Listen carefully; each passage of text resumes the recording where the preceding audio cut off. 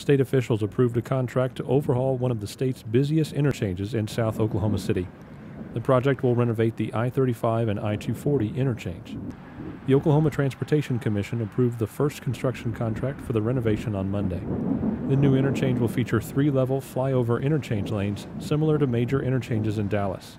We're going to widen the interchange so that there's a better flow of traffic. We're going to expand the ramps so that we can move traffic and better movement between each one of the interstates to the other interstate and to local roads.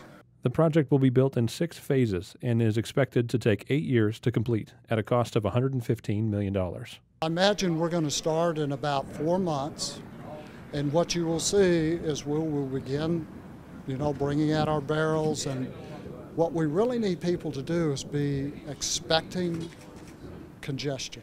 There will be more congestion before there's less congestion, and we need patience from the drivers both on I 35 and on I 240.